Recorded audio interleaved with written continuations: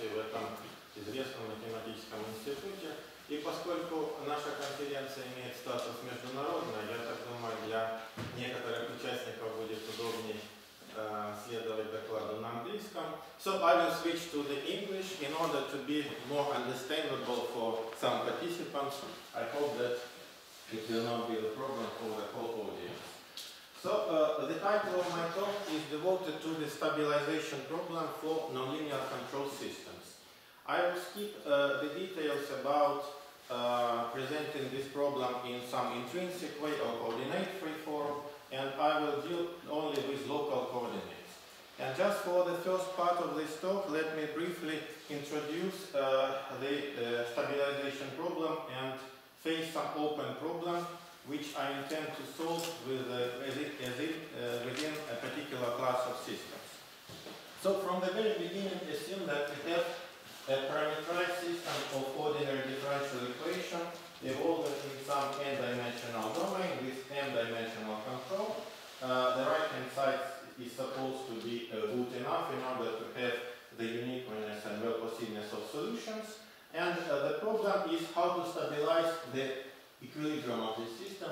We assume that f uh, at zero with some control is zero, so that there is an equilibrium point of this system and the stabilization problem can be formulated in a well-known form, but I think that it, it would be better if I write it again explicitly. So what is the stabilization problem? Stabilization problem is as follows. Uh, find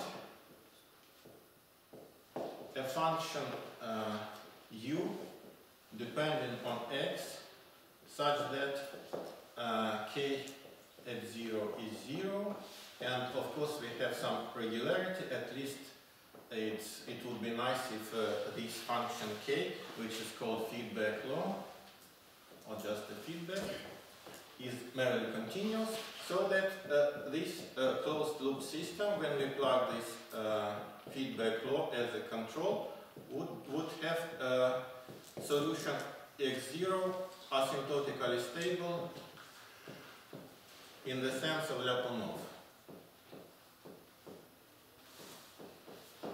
Well, it's a well-known fact that for this class of uh, uh, driftless control affine system, which are very popular in sub-Riemannian uh, problems, uh, this problem is not solvable in this classical sense, so there is no hope to construct this uh, state-dependent feedback law because of these uh, well-known constraints known as a Brockett condition. So this theorem due to Brockett says that if system is stabilizable by a regular, in the sense of uh, purely state-dependent uh, feedback law, then the image of the right-hand side should contain a neighborhood of the origin. But it is not the case definitely for this class of systems, provided that the number of controls is less than n, and those vector fields uh, are linearly independent at the origin. For the rest of this talk, we will just stabilize the trivial equilibrium of this system. And uh, a bad and uh, an important consequence of this fact that there is no Lyapunov function available for this system at all. To see this, I recall the notion of a control Lyapunov function.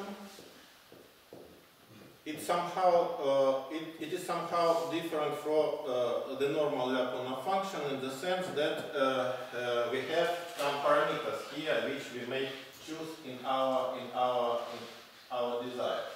So that a control Lyapunov function is a function v which is at least of class C1 in D such that it is positive definite so that v at 0 is 0 and v of x is positive non-zero and it has the following property so that if we compute the time derivative which may represent as a scalar product of v of x with the right hand side of our differential equation if we take this in for all u, which might be infinite of course for this class of system, then it should be negative for all x which is non-zero.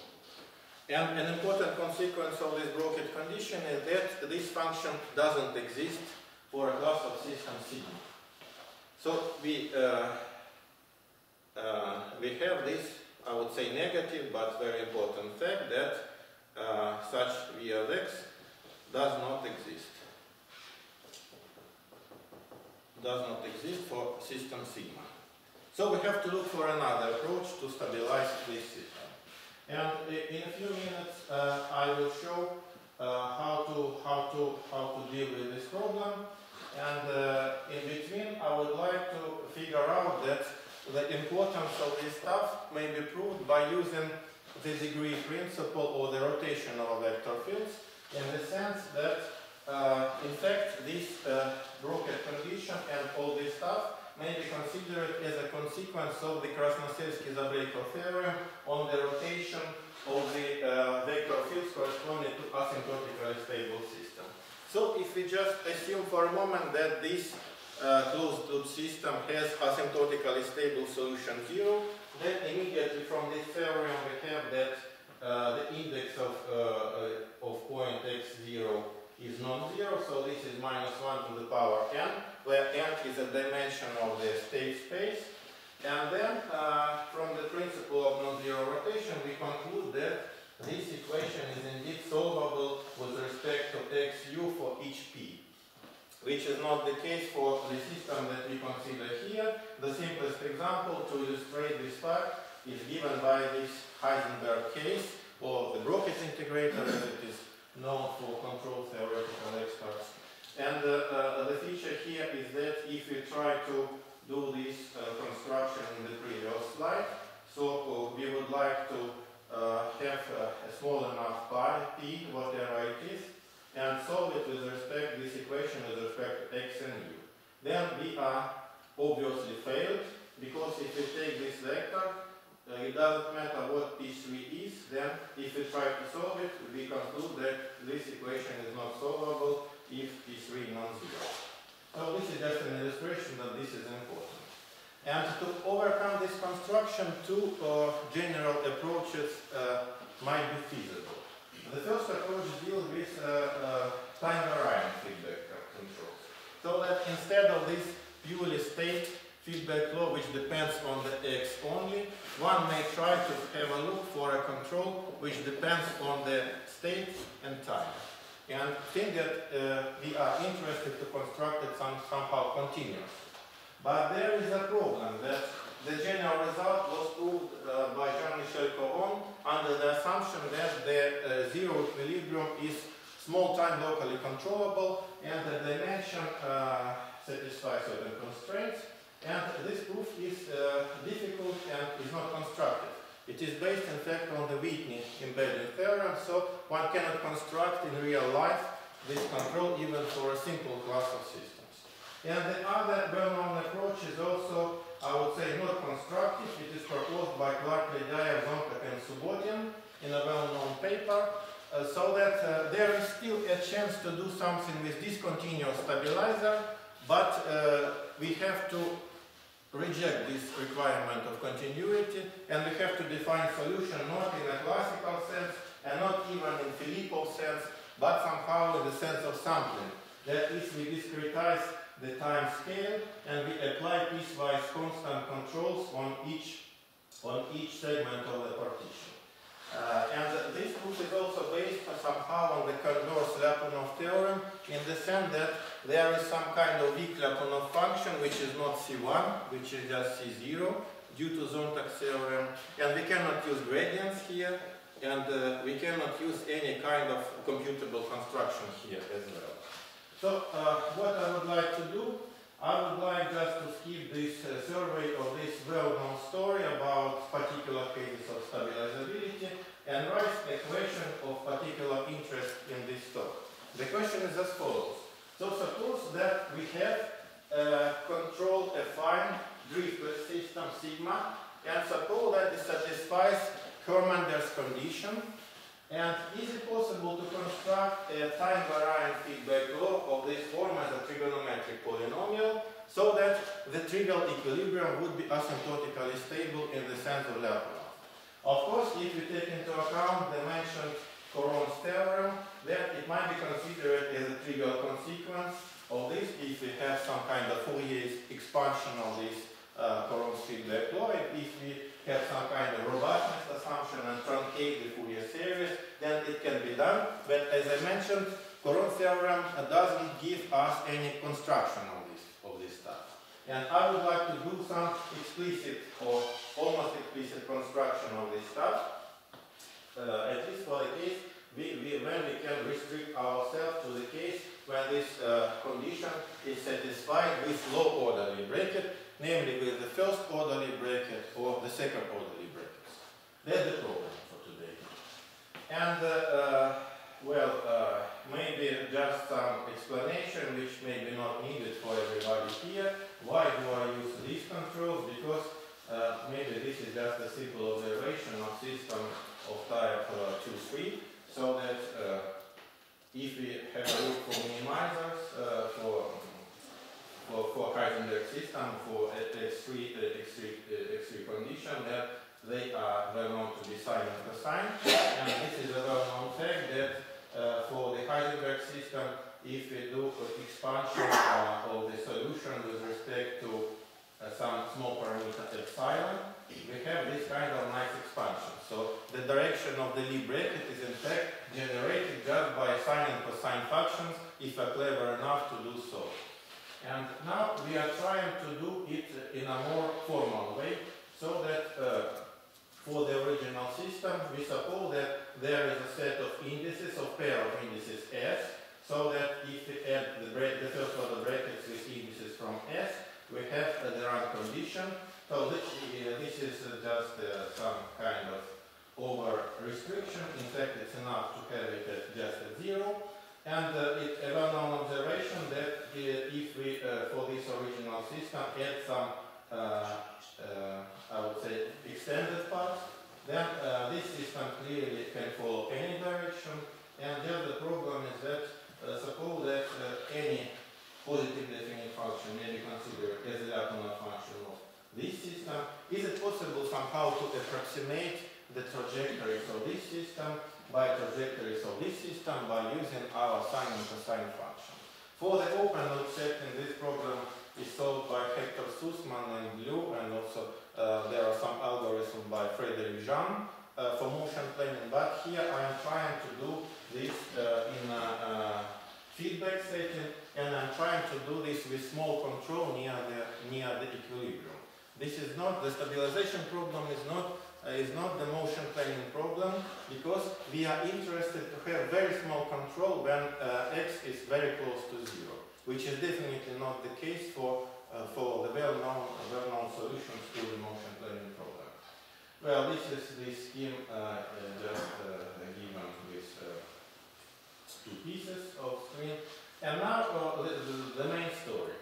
The main story is that we are parameterizing the inputs with these uh, trigonometric polynomials with sine and cosine. This, uh, this uh, formula may look cumbersome, but indeed it has uh, two, two parts. The first part is just pure uh, state-dependent, uh, state-dependent feedback, which is of classical type. And then we add some sine and cosine depending on t, with coefficients depending on x. Here a delta is just the Kronecker delta. This is a way to parameterize the control so that sine and cosine appear in some symmetric way in different controls. Here i is just the number of control from 1 to n.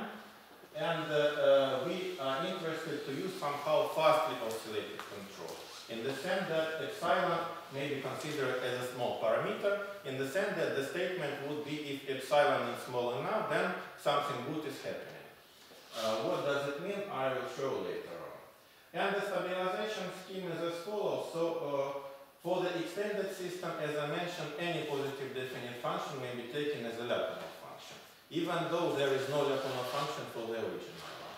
And we are trying to just approximate the direction of the anti-gradient of this function by, uh, by the trajectories of the original system and uh, we will show that this can be done in a computable way, provided that epsilon is small enough.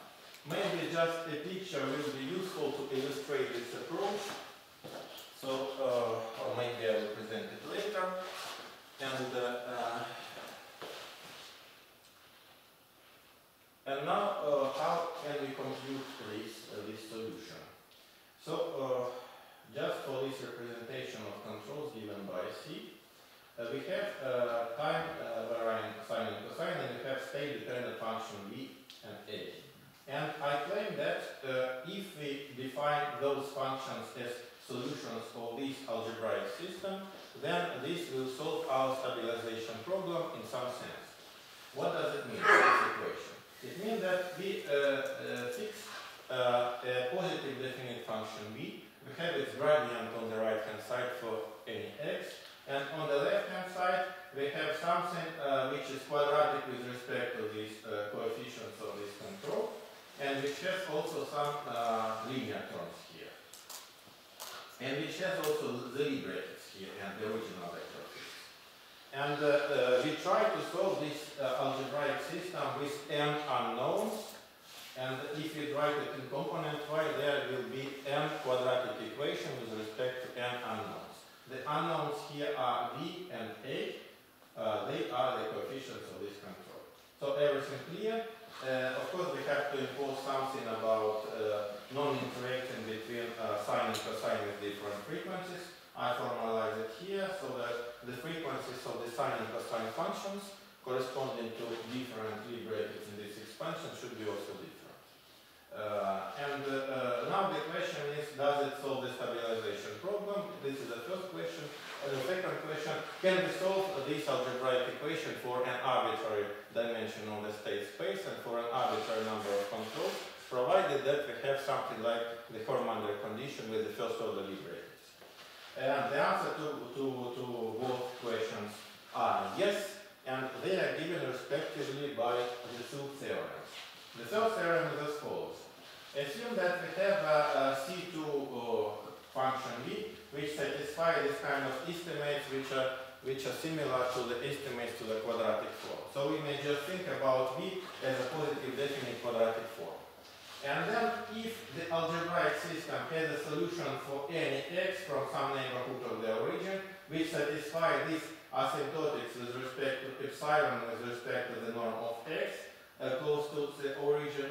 Then uh, the, the answer is that uh, the system is exponentially stable, locally exponentially stable, in the sense that uh, if the initial data is taken from some uh, neighborhood of the origin, and if epsilon is uh, smaller than some epsilon zero, then the uh, trajectory decays exponentially, and the control evaluated at the trajectory also, also decays exponentially as goes to infinity.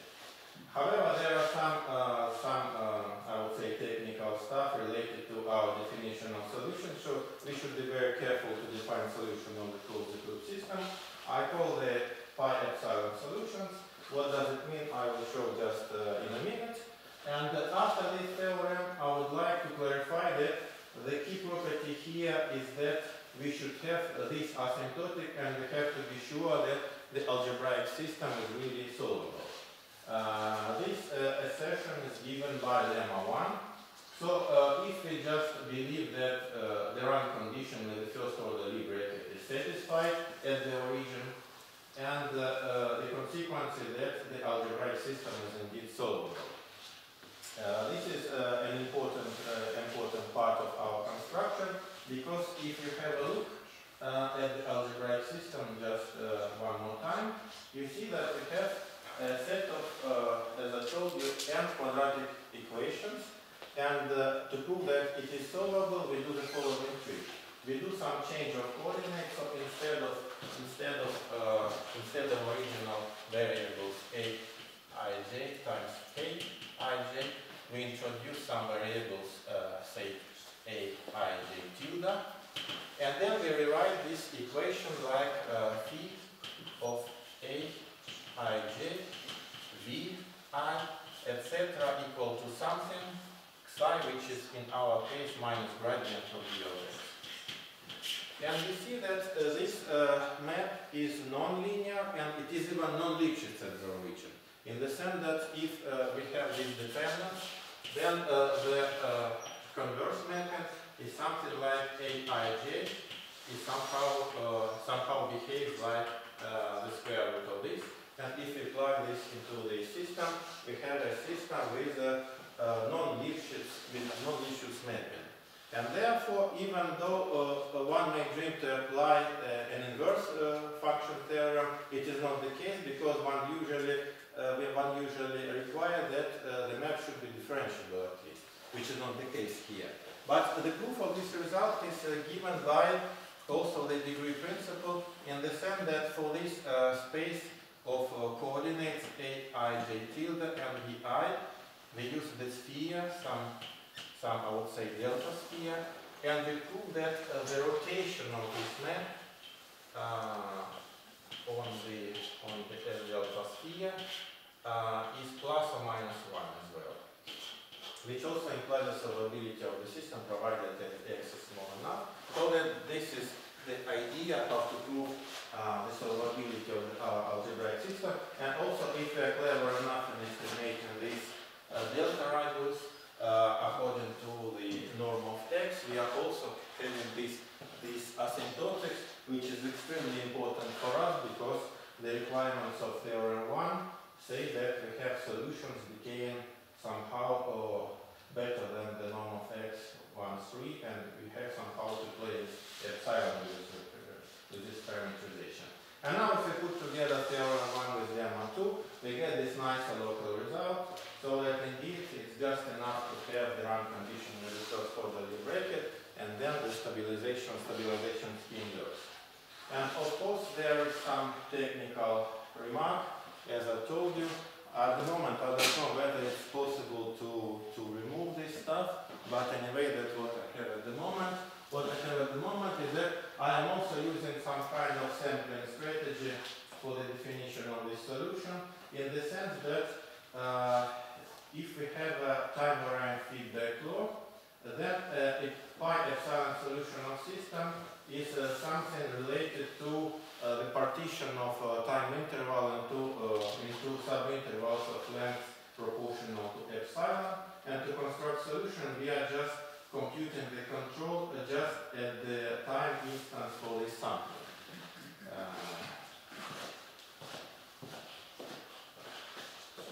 Picture looks like here. So, concerning the series, so you took, as the no function, you took just quadratic, uh, Yes, yes. quadratic function. Yes, You, yes. you realize your possibility. Yes, yes, yes.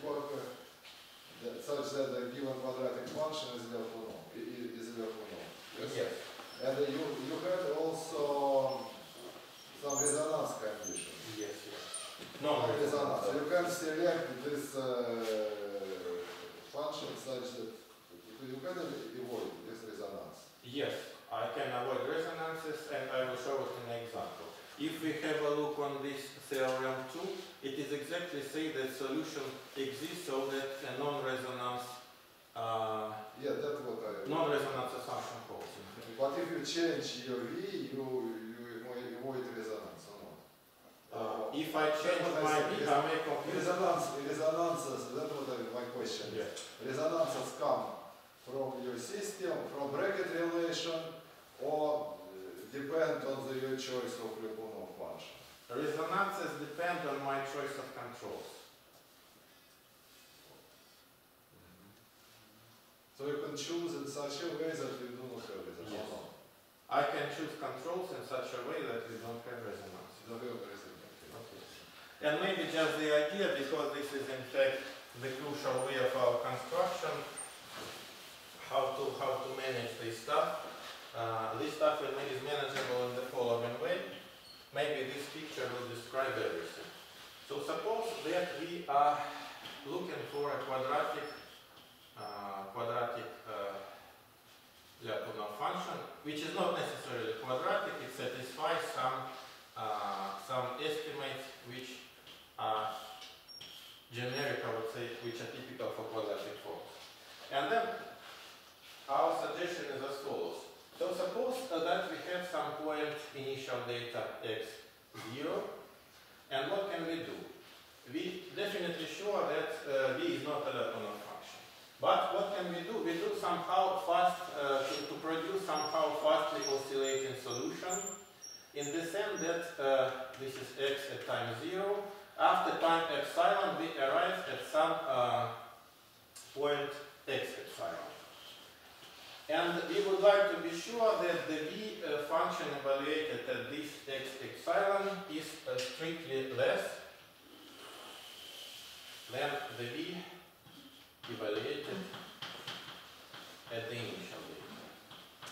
And then we have, uh, if we produce this uh, idea infinitely many times, a decreasing sequence of walls and they're contracting to the origin.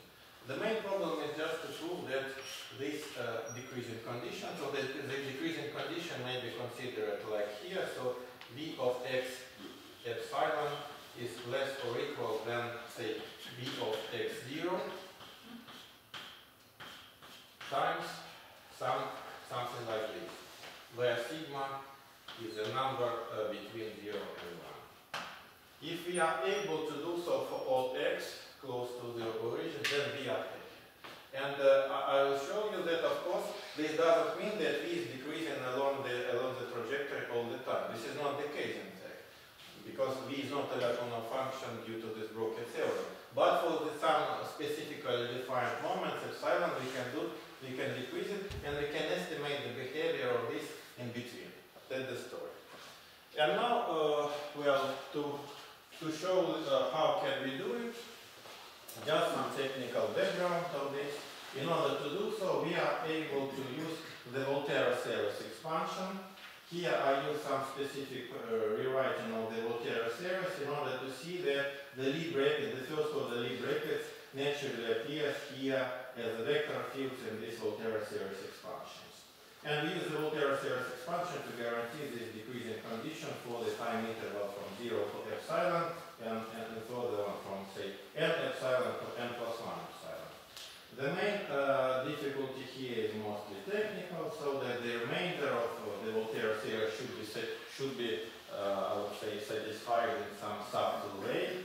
And this subtle way say that we should generate uh, the control so that the product of controls with the time should be uh, should be tending to zero somehow to eliminate the the influence of this remainder term. And uh, uh, also for this uh, idea, uh, I will show this lemma. Well, to guarantee this decreasing condition, we need another lemma, which is called lemma 3, so that everything is hidden here.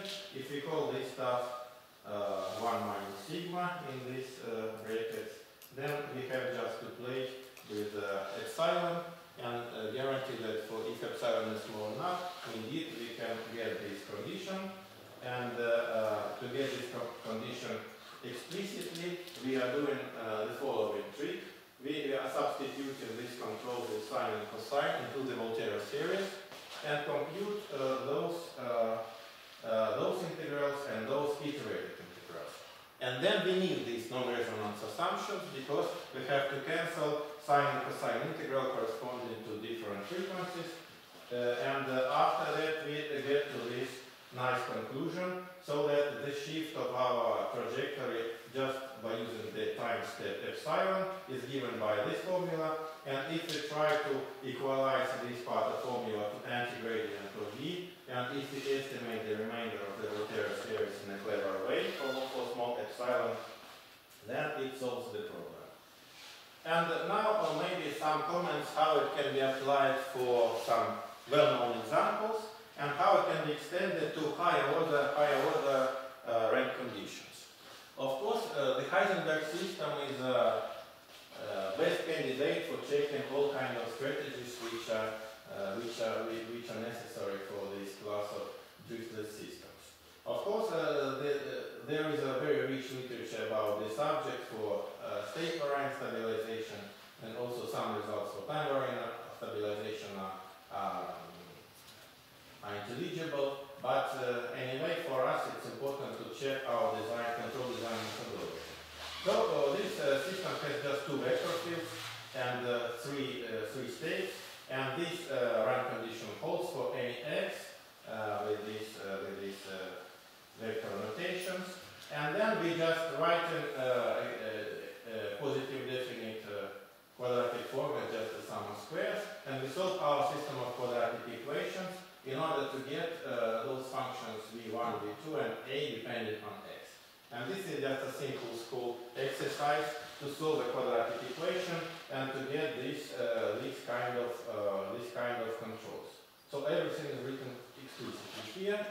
Uh, and uh, uh, by our theorem, this controller ensures exponential stability of the, of the, of the Heisenberg system. And here we have uh, this illustration how does the trajectory look like. So we have this kind of loops, which there are infinitely many loops, and the norm of x decays exponentially uh, when uh, t goes to infinity, and each loop corresponds to the time epsilon here. So we have the decreasing of all variables, and it's decreasing exponentially. In fact, uh, just for this particular example, uh, it doesn't matter whether epsilon is too small, because I've just taken epsilon equal to 1 and plotted this, this graph of classical solution of this closed loop system with our control, also, which also depends on time. Okay, Uh, I, I have a question. Is yeah. it uh, a real loop or it's like a spiral? Uh, it's like a spiral. Okay. s- Look, you mean that the endpoints coincide? Yes. No, they are not coinciding, of course. And, and another question about small enough epsilon. Yes. For, for, for applications in, I don't know, robototechnics or something like this, you, you, you, you, you, you want to have some real estimation how small your epsilon should be. Yes. Do, do you have some, uh, uh, some estimations from below? In principle, we do, because uh, from this stuff and from the remainder of the Volterra, there are some inequalities about uh, the upper bound for this epsilon, which guarantee that the scheme works. In Ah, principle, we have it. ah, Yes, in principle. Okay, and uh, now the next point is that uh, we see that something not very pleasant is happening here, in the sense that one usually thinks that Lipschitz controls are better than non-Lipschitz. And we have some peculiarity of type square root of x3 when, uh, when say x1 ranges. And in fact, this is just the fee that we have to pay to the fact that we are doing something exponentially. If we are not interested just to exponential, but if we have enough time to do uh, something just uh, decreasing, maybe in a power way, then uh, the idea may be another one. We are not using quadratic forms anymore. We are using, say, these uh, polynomial Lyapunov functions, where m might be an even number. And if we do the control design by our, by our methodology, we get uh, the same result about uh, asymptotic stability, but the decay rate would be of this power estimate. So if m, say, equal to 4, for instance, then we see that this control is, is Lipschitz. But the decay rate is not exponential. Uh, and now maybe another well-known example, unicycle. Of course, it may be related to the Heisenberg system by some feedback, uh, feedback transformation, but anyway, it's interesting to see that everything is done explicitly for this, for this nice example. Also the sine and cosine, but we have another kind of uh, coefficients, of course. Also, this is just a school exercise to solve this quadratic equation and to see that the origin is uh, exponentially, is exponentially stable. And for the rest of this talk, if I have some time, uh, I think that I have something like five minutes or something like that. Uh, I would like to uh, get an idea that in fact it can be, it can be. You have more than 10 minutes actually. Ah, okay, can go and do it. Thank you very much. Uh, well, uh, so, uh, how about the second order Lie bracket? So assume that it's not enough just to use the first order Lie bracket, but we are able to satisfy the rank condition and the origin also by using some second order Lie brackets. For the convenience, we use this kind of iterated as on the slide, and we introduce uh, two sets of indices. So S2 is the set of a pair of indices, and S3 is the set of triple of indices for the second order Lie bracket, so that uh, the cardinality of S2 minus S3 gives us the necessary number of remaining inputs. And uh, uh, under this assumption, uh, we uh, use also sine and cosine function. They uh, look cumbersome because we have to take into account another tail to, to, to, to to use this kind of Lie bracket, and for this kind of Lie bracket we have also to use high order oscillations, I would say. But this is also doable with sine and cosine in this formula. So in this formula, a capital K are some integer vectors which are chosen to another non-resonance assumptions. Um, well, this is a kind of resonance, non-resonance assumption up to the third order. It, it, maybe it's not written in the, in the very intelligible way, but uh, this, this condition exists for our Volterra series technique, and this condition can be satisfied, as I will show you in, in an example later. Well, that's the story. So for this time around uh, feedback control, uh, we have this kind of results. The result is as follows. So uh, again, if you have a positive definite function which satisfies to estimate uh, typical for quadratic forms, and if the coefficients of our controllers satisfy this kind of cubic equations, uh, this is some, I would say, bad terms. We have the expression for this written explicitly in the paper, but for the moment we are just uh, calling it omega 2 capital, so that if uh, we have a solution to this system, which and also if a non-resonance assumption is satisfied, then uh, uh, the time varying control shown in the previous slide ensures exponential stability of the uh, of the control system. And uh, of course, we are able to do local solvability of the system by using the similar degree principle here. The computation becomes more cumbersome, but the idea remains the same. We are introducing some new variables which are proportional to a cube. Then we uh, represent everything in terms of these new variables. Then we have something which contains square root and cubicle, uh, cubicles, which is not Lipschitz. And we again uh, use some kind of rotation on degree strategy in order to have the solvability and also the order of smallness of the solution depending on the order of smallness of x. And this indeed works, as we can see on another another uh, another example, which is of also kind of nonholonomic mechanics, where use, uh, we use inputs as velocity. So this is a kind of velocity representation of a nonholonomic system, like union is drawing on the plane. This is system of type 2, 3, 4. So we have a four-dimensional state, we have two inputs, and we have uh, this rank condition satisfied at any point of the state space. And uh, we use our controller to stabilize the system. Here are exact parameterization of the set of indices is necessarily brackets. This is uh, the general form of controllers. And as I mentioned before, A1, A2, uh, and uh, A with three indices are, are solutions of a set of cubic equation. And just for this uh, specific kind of system, we may just take, uh, say, uh, K uh, in this form, like uh, 1, 3, uh, 4, to satisfy non-resonance assumptions of our form. And uh, we are able to represent something, uh, the family of solutions to cubic equation in this way. However, the remaining equation remains cubic, and we have to use a real solution. So uh, the most cumbersome part of this construction relies on the solution of this cubic equation with respect.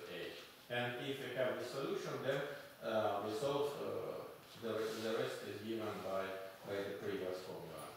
And then uh, we may just illustrate the behavior of solution, uh, a particular solution to the system. For instance, if you take initial data like here, 1, 1 and pi over 4, and if you substitute our control, then we have this kind of dynamics. Here we have some kind of high frequency oscillation, I would say, corresponding to second order brackets uh, with frequencies uh, capital K, somehow shown in the control. And here we have some kind of low or low frequency, uh, low frequency oscillation corresponding to the to the first order brackets. And the, the whole stuff goes to zero exponentially, as it is shown on this on this illustration and as it is proved in the theorem. And finally, I would like to conclude in the following way. So, uh, in this talk, uh, we proposed a control design methodology based on the use of trigonometric polynomials of times with coefficients depending on x. And this control design methodology is based on solution of auxiliary system of algebraic equations, which are of the first or the second order for the first order bracket uh, condition, and which are of third order for the second order condition. I believe that it might be extendable also for higher order conditions, but because, but definitely we have more cumbersome formulas for, for the controls, and maybe this is not so reasonable to present in a general form. And uh, uh, as it is very important for the stabilization problem, our controls U are small if uh, x is small, so that can be taken even Lipschitz, as, uh, the, as the example with this Heisenberg system shows. And uh, the idea of this proof is somehow extended as uh, an extension of direct Lyapunov method. So that we are not using the time derivative of the Lyapunov function anymore. We are just using the Volterra expansion to guarantee that uh, the Lyapunov function decreases for some uh, time epsilon and uh, its time derivative may not be negative definite anymore. That's the idea. Thank you for your attention.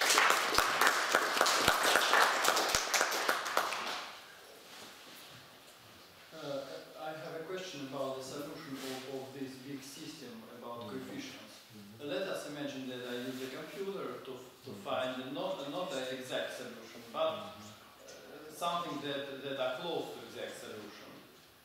And, and, and try to use this, co- this control with, with, uh, with, uh, with uh, not exact solutions. Will I have in this situation the exponential stability? Well, it, it's a question of how, you, uh, how exact you are in your approximate solution. Yes, I mean, I mean because you have a, a, a big algebraic system, for, for example. Yes, you're right. And, and I don't have any, even any uniqueness of the root, so I may use any kind of root in principle. Yes, I understand. Yeah. So the, the answer is yes, because uh, Lyapunov function decreases by uh, 1 minus Ah, uh, yes, sigma. yes, yes. Yeah, then, then Yes, if yes, yes, yes. I'm trying to, to approach this, uh, to approach this answer, but uh, not, Ah, not yes, yes. But after, after some more sequences, which are hidden probably here. So th- there is some kind of robustness gap in this signal, which I believe will capture your small un- uncertainties. uh, my, my question, my, maybe I missed some, something. Uh, you, you use a kind of non-autonomous uh, feedback, yes, and uh, but uh, still, uh, i- i- is uh, the, the, does the, the, the autonomous exists or it doesn't exist? The, do, do you have any, any result concerning this? It doesn't exist from. it doesn't exist? Yeah. From the start, just from degree From the story very does not exist. From according to degree. uh, Even continuous does not Yes. exist. Even, uh, so I think that the most Con- interesting stuff is that even discontinuous doesn't exist if we define solution in the sense of Filippov. Of course, some particular results are available if we define the Carathéodory's solutions with discontinuous right-hand side, but that's another story. Or if we define something like exit rules in the sense of Sussmann, but this is not a classical solution. Um, it, it, it, it, it, it, it exists, then it is discontinuous. Uh, Discontinuous and you should interpret what is solution in very particular way. It is not even Filippov solution. It is not even Filippov solution. okay. There are some Filippov solution that avoid. They couldn't be stabilized. It's, it's very... Yeah. Because uh, you You can cannot imagine stabilize all Filippov solution even with discontinuous.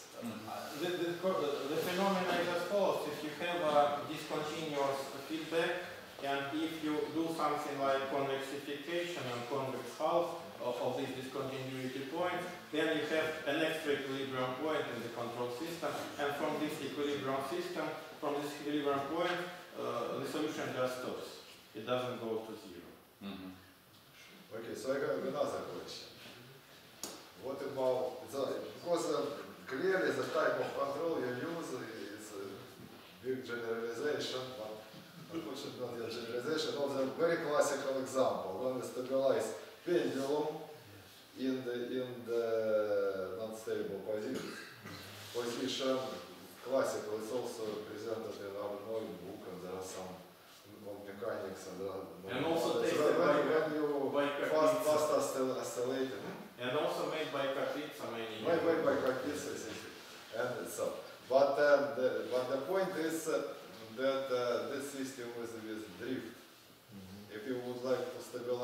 pendulum with, with uh, mul- multiple, and uh, you, you use, uh, so probably this, uh, this technique should work for systems with drift on this open bracket relation. Do you have, can, can you say something about that?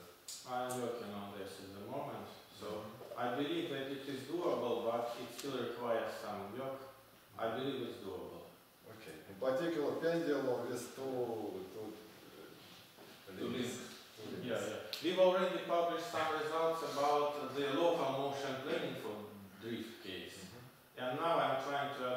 argument. Argument also. Okay. And also maybe for these well-known Navier Stokes examples, as you've shown, uh, ah, yes, that, by that, finding that's the approximation of the sure, sure, sure. Uh, okay, so you will. Uh, I'm thinking about that. So some other questions?